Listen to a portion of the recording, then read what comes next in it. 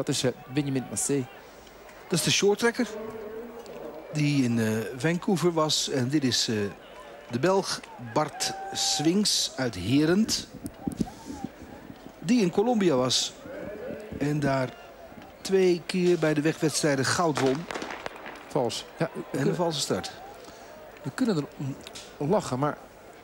Drie, ik lach niet. Drie, ik lach niet. Nee, drie Europese titels in het skileren. Twee wereldtitels in het skileren. Een sport die gewoon veel meer landen... Ja, het is een zomersport. Aan de start heeft bij het wereldkampioenschap... dan dat uh, een wintersport eigenlijk kan hebben. Echt een grote man. Bart Swings. En een jong. 19. Wordt uh, 20. Dat zou een geweldig verjaardagscadeau voor hem zijn. Als de wereldkampioenschappen zijn in Calgary. Ja.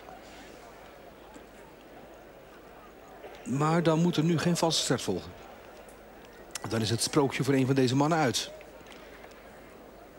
Nummers 24 en 26 van de 500 meter. Maar dat was het moeilijkste onderdeel voor deze mannen. En ik weg. Mooi. En die Swings weet echt hoe een schaats is. Uh, in een interview gegeven aan de Nederlandse krant meldde hij ook dat hij al van kleins af aan alle schaatstoernooien thuis op televisie kijkt.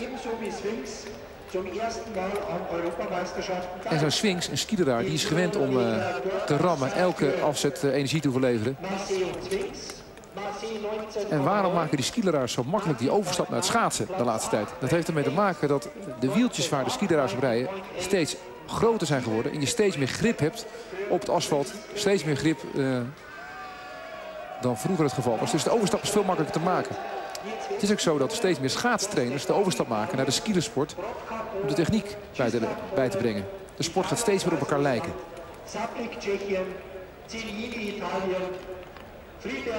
En dit Swings begint met een mooi rondje. 30-8. Dus die heeft een plan. Ja.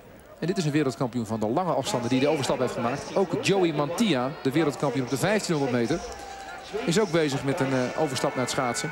Die doet dat in Salt Lake City, Amerikaan. Ja, nu, hebben we over die swings al het een en ander verteld. Een grootheid in het skileren. We hebben ook verteld dat hij de limiet gereden heeft in Erfurt, 6.43. Dan moet je kunnen schaatsen. Dat goed ook. Hij heeft ook al marathons gereden in Nederland. In de marathoncompetitie voor de eerste divisie.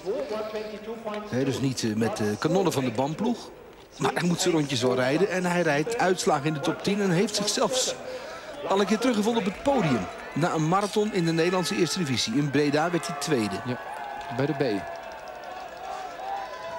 En dit gaat een hele mooie rit worden. Want Massé, de Fransman in de buitenbaan... die een short-track verleden heeft... en ook bewust gekozen heeft voor het lange baan schaatsen... met vijf Fransmannen appartementje heeft betrokken in uh, Heerenveen. Heerenveen. Die nu 32-4 noteert. Swings weer naar de 31-9. En de Fransen hadden het in het verleden nog moeilijk. Want daar stond alleen Alexis Contain aan de start. Maar Contain hadden een vierde plek op de Olympische Spelen. En de Franse bond is ineens omgedraaid. De Franse bond komt kijken bij het Europese kampioenschap shorttrack in Heerenveen. En ook bij de wereldbekerfinale. Want er is ineens geld beschikbaar voor het lange baan schaatsen. En de mannen hier hebben wat aan elkaar. Hè? Ze hebben competitie aan elkaar. 25, 6. Het zijn de vierde en vijfde tussentijd. Ruim een seconde langzamer dan Stefani. C. Mooi schaatser ook. Waar ga je op uitkomen met rondjes 2,5? Dan kom je uit op 6,50. Ja.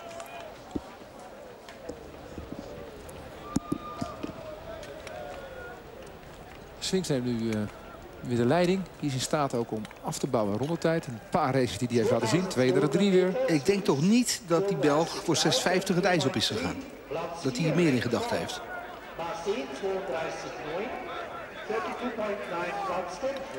Hij maakt het toch van zijn hart geen moord wel. Hè? Dat skileren blijft... Uh...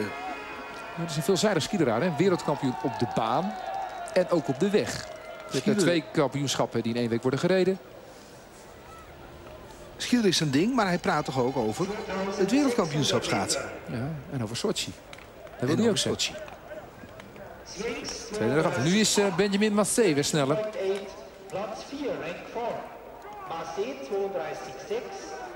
Worden gecoacht uh, de Fransen door Tristan Loire, die momenteel ook in Nederland spreekt, in Nederland woont en ook in Nederland blijft. En van daaruit de Franse selectie begeleid. Vijf man sterk. En dan heb je ook nog Alexis Conté. Die straks aan de start verschijnt. Die training. Een met deze mannen. We gaan naar de drie kilometer. Swings neemt afstand nu. Versnelt een beetje. 4.05.03. En Marseille moet hem laten gaan. Dan heeft Swings drie kilometer lang competitie gehad aan Marseille. En moet hij het nu verder alleen uitzoeken. Swings is anderhalve seconde langzamer dan Luca Stefani.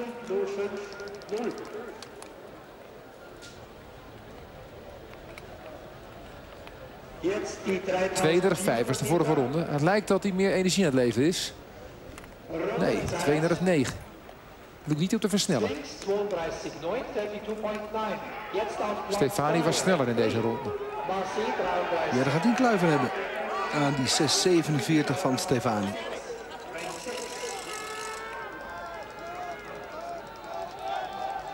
Hij is niet de enige Belg die het probeerde in Erfurt om aan die limiet van 6,48 te voldoen. Ze waren met z'n drieën. Alleen Swings gelukte het.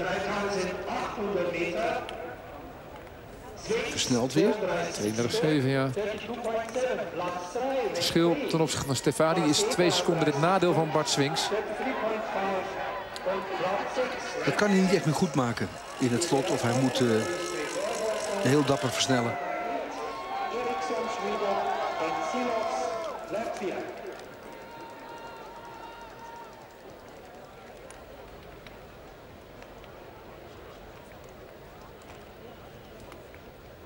Twee rondes nog. 32-5. Toch weer een versnelling. Ja, het is hier dus, uh, karakter ronden, heeft hij, hè? Twee ronden om anderhalve seconde het overbruggen. Karakter heeft hij. Ja, als wil je geen wereldkampioen op 20 kilometer en 10 kilometer.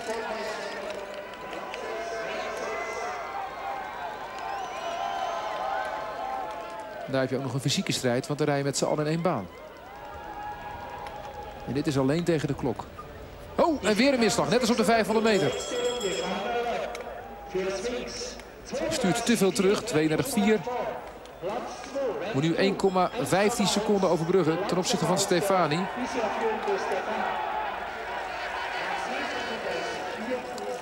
De slotronde van Stefani was 33-1. Ja, dan heeft hij een uh, 31 hoog nodig. Dat gaat niet lukken. Maar wel onder de 6,50 gaat hij uitkomen. Bart Swings. 6,48. 0,9 tweede plaats tot nu toe op de 5 kilometer. En de Fransman uit Bordeaux, Benjamin Massé, onder de 7 minuten. En ook zijn schaatsleven, op de lange baan althans, is nog een uh, kort leven. In oktober zijn eerste uitslag gereden in Heerenveen. En nu onder de 7 minuten op de 5 kilometer in Colalbo.